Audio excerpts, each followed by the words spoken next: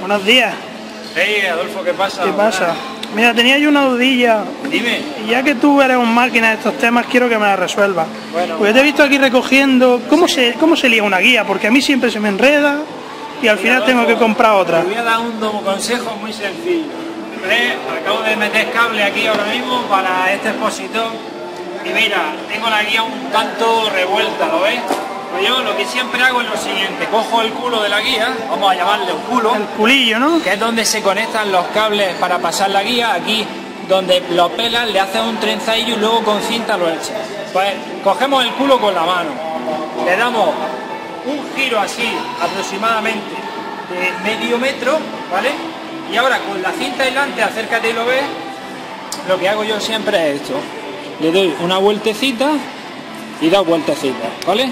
Ajá. O sea que ya tengo el culo agarrado con un medio círculo de medio metro. ¿Y ahora qué hacemos Y con ahora eso? Hago así, ¿veis?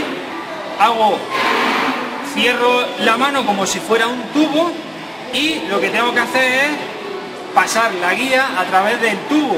Anda. Mira cómo se guía, Adolfo. Vaya, se queda como nueva. Mira cómo se, se va desliando y se va enrollando la guía perfectamente. Esta guía es de 15 metros, ¿eh? Así que, bueno, dándole un poquillo a la mano, vamos consiguiendo el objetivo.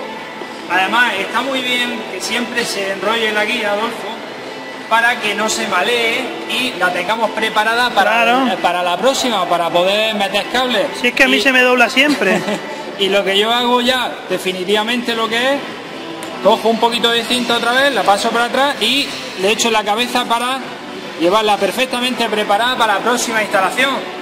Bueno, que sepáis que estamos aquí en el eh, Salón del Cómic de Granada.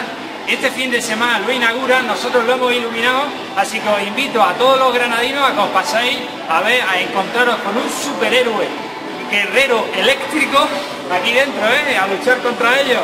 Un abrazo y como siempre, gracias por estar ahí. Nos vemos en el próximo vídeo tutorial. Un abrazo y generen